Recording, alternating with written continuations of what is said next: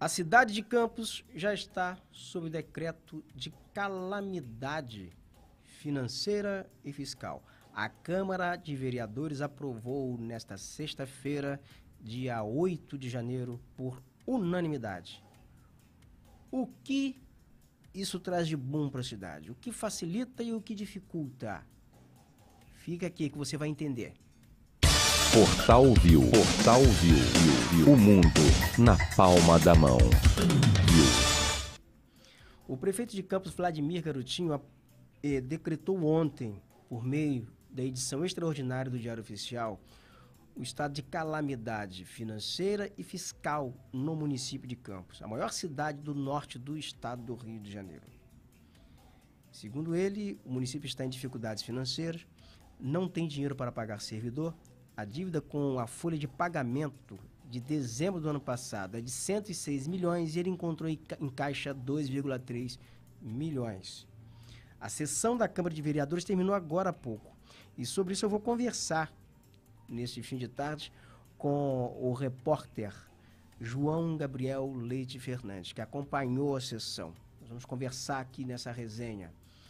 Vamos aí soltar o João Gabriel comigo na telinha, que a gente conversar. João, estamos aqui de novo agora na resenha para a gente sintetizar esses acontecimentos nesta tarde de sexta-feira, 8 de dezembro, na cidade de Campos. João, o que facilita e o que dificulta? O que facilita esse decreto de calamidade financeira e fiscal que a, o prefeito Vladimir Garotinho decretou ontem e a Câmara aprovou, endossou em sessão realizada agora há pouco? Tô chegando bem até você, João? Eu acho que o João Oi? travou lá. Eu tô aqui no ar e o João não tá mais. Nós vamos ter que fazer aquela não, mesma coisa. Eu tô ouvindo aqui. Agora, tá ouvindo? Então tudo bem. Tá legal. Agora a gente tá ligado. João, o que que facilita essa, esse decreto que a Câmara endossou agora do, do prefeito, o decreto do prefeito é, Vladimir Garotinho? O João que não está me chegando. Gente, ele está ele tá nos ouvindo, pelo que eu estou entendendo aqui, sabe? O, são dois João. Tem o João Vitor aqui na técnica e tem o João lá. Do outro lado lá, o João Gabriel. É, eu acho que a, a internet sua, o João Gabriel, está interceptando aí. Você tem que procurar um ponto de, internet, de internet. Tá me ouvindo bem agora? Não, nós vamos ter que reeditar aí. Vamos ter, ter que trazer o, o João Gabriel, o João Gabriel de volta.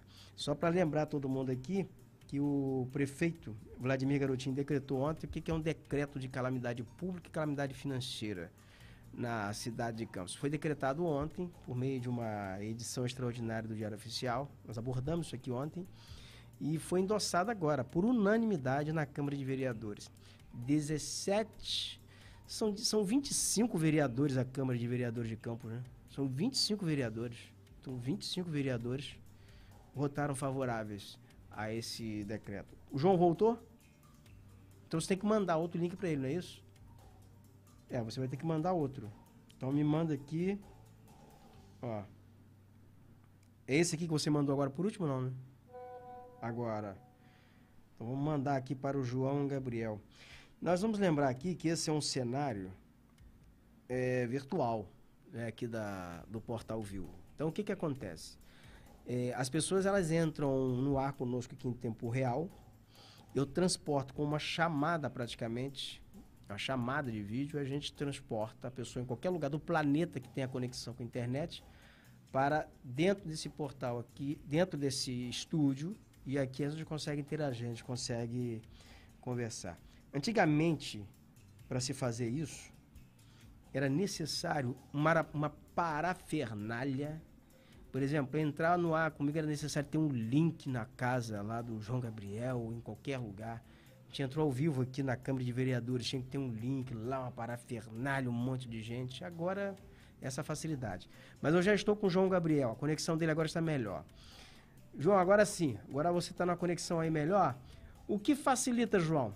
A aprovação hoje desse decreto por parte da Câmara de Vereadores, que endossou praticamente o decreto do prefeito Vladimir Garotinho, que estabelece estado de calamidade financeira e fiscal na cidade de Campos.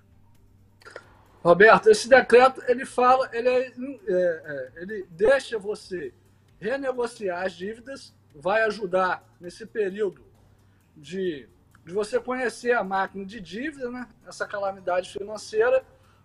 Você pode renegociar as dívidas, que é importante, e você desburocratiza a vinda de recurso novo, tanto do governo estadual quanto do governo federal. O prefeito tem andado aí desde o período da transição conversando, tanto com o governo estadual quanto com o governo federal, para trazer dinheiro, trazer parcerias, e, e, e isso vai ajudar. Esse decreto ajuda necessariamente nisso. Outro, outra coisa que o decreto ajuda é você renegociar as dívidas. A Prefeitura de Campos tem uma dívida muito grande. Para você ter noção, o orçamento de Campos previsto para esse ano de 2021 é de 1 bilhão e 700 milhões. Segundo o nosso colaborador, Ranulfo Vidigal, economista, só de custeio o salário, Campos gasta 1 bilhão e 200 milhões. São 13 salários, né? 13 terceiro também. Então sobra aí, segundo Ranulfo, uma questão de 300 milhões só de custeio, que é muito pouco para uma cidade como Campos, que é muito grande, tem um gasto muito, muito grande. Então, você, vindo dinheiro de fora, vai ajudar o orçamento municipal. É, você imagina, né, o João Gabriel, tem limpeza pública, é energia, é água. É água. Tem um decreto aí de Agro Paraíba elevando a conta de água aí para em 7%. A prefeitura vai gastar quase um milhão a mais com conta de água por ano. Verdade. Então o custeio da máquina é assim, é muito é, grande. É alto também, né? E bem lembrado. É, tem ambulância, né? Tem convênio com ambulância, saúde gasta muito insumo, remédio, é, tapa-buraco. São coisas poucas, mas que gasta muito. Campos é uma cidade. Você pode me corrigir, acho de 5 mil quilômetros é, quadrados, não, Alberto? É uma coisa dessa? 5 mil, é, e 500 mil habitantes. Tem 500, 500 mil habitantes, habitantes, você imagina. Uma cidade muito grande, um interior muito grande. Então, é, é um custeio muito alto. É, agora, é, esse decreto também ele permite a desburocratização em compras, né? Porque você pode fazer algumas compras emergencialmente, sem realizar licitação, né? Então, eu acho que. E, e, e, nesse início de mandato aqui, principalmente com pandemia, você precisa comprar muita coisa. Você precisa ter uma agilidade muito grande no processo de compras, né? é, fazendo um adendo, é, é, é, só de 180 dias. Acabei de ver na rede social do prefeito, ele anunciou o protocolo, assinou o protocolo de compra de vacina. São 100 mil vacinas. Campos acabou de. É, a notícia de primeira mão. São 100 mil vacinas que Campos vai comprar, uma intenção. Né, Coronavac. Então, é, você imagina o custeio, o custo disso. É um custo grande. Então, acho que essas, é, esse, esse decreto viabiliza isso também. É, exatamente. Agora, Campos é a única cidade, nesse momento, do norte do estado do Rio de Janeiro, que está né, sob a vigência de um decreto de. Né, de nesse de, de calamidade, calamidade financeira. Financeira e calamidade fiscal. Né? Então, Exatamente. nós somos a única cidade nesse momento. É possível que outras cidades, no decorrer desse processo, até sigam o mesmo caminho, né? Porque você tem aqui Conceição de Macabu, a cidade está aqui perto, porque você tem pequenas cidades aqui, São Fidélis, você tem Cardoso Moreira. São cidades de menor porte, com problemas muito menos complexos, né? Mas que, guardadas as proporções, suas respectivas proporções, também deve ter grandes problemas financeiros, de arrecadação que a arrecadação aqui no norte do estado do Rio de Janeiro, no estado do Rio de Janeiro, aqui no norte do estado principalmente, foi um negócio sofrível nos últimos quatro anos e não, e não será diferente se não entrar dinheiro novo, o João Gabriel. É, essa pós-pandemia vai preocupa a gente está vivendo ainda numa pandemia, né? Mas é, esse pós fechou muita loja no, estado do Rio de Janeiro, né? fechou muita empresa, então a gente vive uma crise financeira aqui no estado do Rio de Janeiro grande. A única cidade que está melhor financeiramente é São João da Barra, por conta do Porto do Açu. O resto, os, outros municípios vão ter que ajustar contas. É, São João da Barra e Macaé também, sabe, o João, tá assim numa situação um pouco melhor, porque tem uma arrecadação própria muito boa. É, exatamente. As empresas que operam na Bacia de Campos ainda continuam sediadas lá. Ao longo desses 40 anos, a cidade criou uma infraestrutura para absorver empresas. O terminal e teve um ajuste fiscal grande. Teve. Lá é. também fez um ajuste fiscal no começo da crise, né, Roberto? Isso fez. ajudou. Ali fez. Doutor Aloysio ali segurou. Apertou o cinto, é. Segurou tudo. E segurou as taxas. Não deu reajuste de, de passagem de ônibus, não deu reajuste de água, de nada.